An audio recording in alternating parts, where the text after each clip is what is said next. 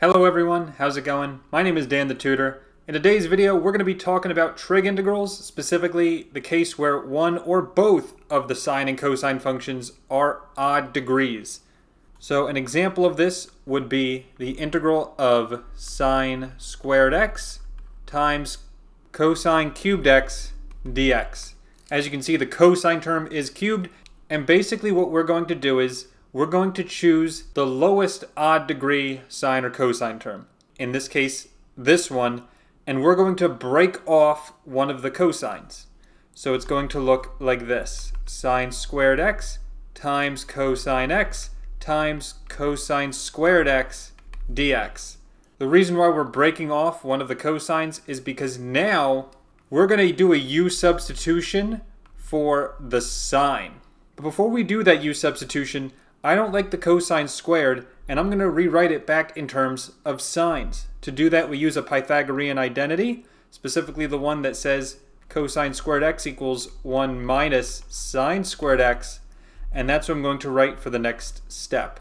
I'm going to write sine squared x times, I'm going to move up this 1 minus sine squared. So it's like this. I just moved it from here at the end to in the middle, and now the cosine x is going at the end because I don't care about it so much. So it gets at the end. And now I'm going to do a u substitution for the sine. If I want to, I can actually distribute this first. I do recommend doing that. So it's actually sine squared x minus sine to the fourth x, close parenthesis, and then all of that is times cosine x dx. And now we can do a u substitution for the sine x. I'm assuming you're already good at u substitutions. So you'd get du equals cosine x dx and dx ends up being du over cosine x. The fact that the cosine x is in the denominator means it will cancel when I plug it back in for the integral. And just like that, I have the integral of quantity u squared minus u to the fourth, close parenthesis, times cosine x times dx got replaced with du over cosine x. So the cosines cancel, and I just have integral of u squared minus u to the fourth du.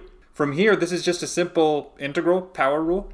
So it's going to be u cubed over 3 minus u to the fifth over 5 plus c. And then the last step is plugging back in. We said u was sine x. So that means it's going to be sine cubed x over 3 minus sine to the fifth x over 5 plus c. And there is our final answer. So hopefully that one made sense. We've got a couple more that we're going to be looking at today. The next one I want to look at is the integral of sine to the fifth of x dx. You'll notice for this one, first of all, it's an odd degree, obviously, but there's not even a cosine to choose. So definitely I'm going to start with this sine x, and I'm going to break off a sine x. So now I have sine to the fourth x times sine x dx. And just like the last one, if you break off a sine x, you're going to choose cosine for your u substitution. The problem is I don't have any cosines right now. That's why I got to break up this sine to the fourth, and I'm going to write it as 1 minus cosine squared x squared. Why am I doing this? Well, I kind of skipped a step.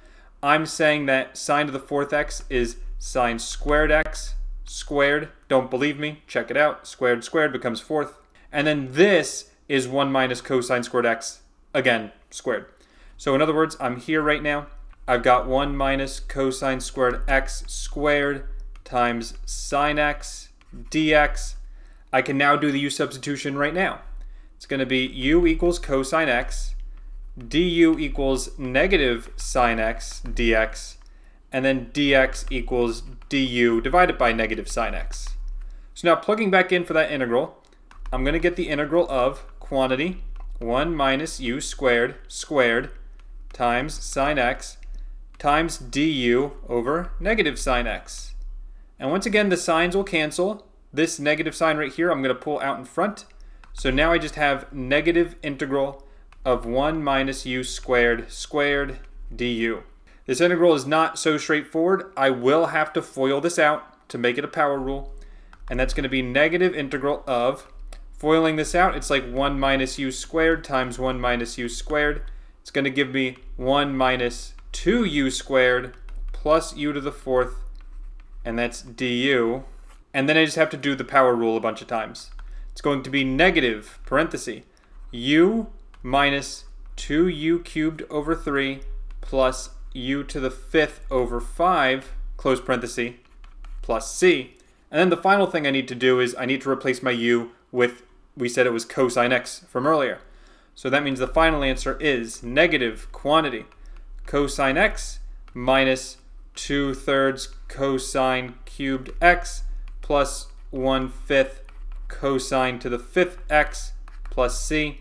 As you can tell, I wrote the coefficients out in front like this. This is perfectly fine. If you want to, you can even distribute the negative sign to all three terms. Personally, I don't care. So this is a perfectly fine answer. And now we're just going to do one more case. This is going to be the case where both are odd, and we're going to see what we do. So you can take a second to think about it. How am I going to solve this integral? As you can see, they're both odd, so maybe I can break off the sine from this one, maybe I can break off the cosine from this one. Technically, you can do it either way. As it turns out, breaking off the sine from this one is easier because it's the lower odd degree. Always choose the lowest odd degree. And it's going to look like this. It's going to be sine x times sine squared x times cosine to the fifth x dx. The reason why we would do that is because now we can easily have a path forward with u equals cosine x, and all I need to do is replace that sine squared x with 1 minus cosine squared x. If I chose the other way around, I would be stuck with a 1 minus sine squared x squared term if I chose to break off the cosine. I wanted to avoid that. That's why you always choose the lowest odd degree to break off. And if you don't know what I'm talking about, then it doesn't matter. Just remember my rule, lowest odd degree. Break it off, the sine or the cosine. So now I've got this. The integral of sine x times 1 minus cosine squared x times cosine to the fifth x dx.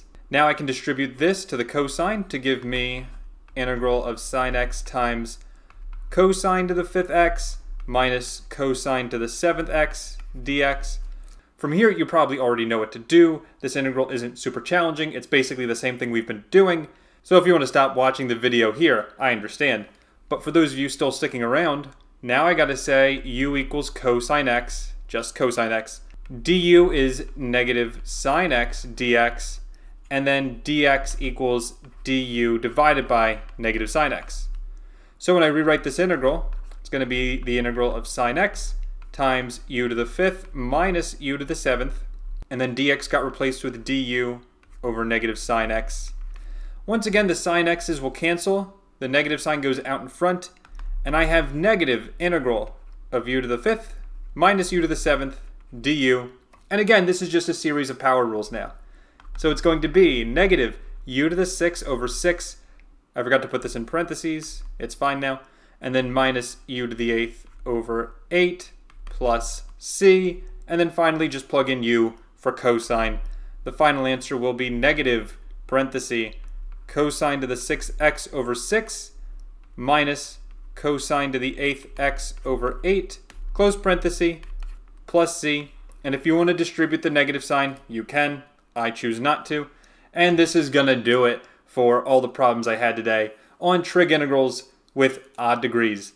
In the next video, I'll talk about what to do when both degrees are even, so stay tuned for that. Thank you all for watching. Hope you have a great rest of your day, and I'll see you in the next video. Take care, and bye-bye.